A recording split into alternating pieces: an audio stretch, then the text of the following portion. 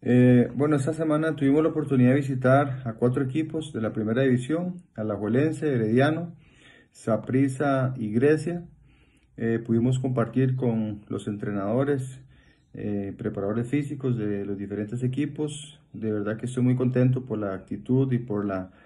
el sentido de colaboración que nos están mostrando los clubes para lo que venga de la selección. fue muy provechoso esas visitas durante esta semana.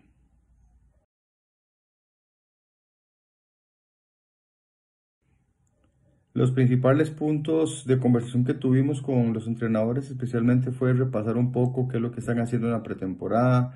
hablar de algunos jugadores que le, venimos dando seguimiento durante la temporada pasada y esta, ver proyecciones de jugadores, a quienes los entrenadores que son los que lo tienen día a día ven que tienen un mejor progreso.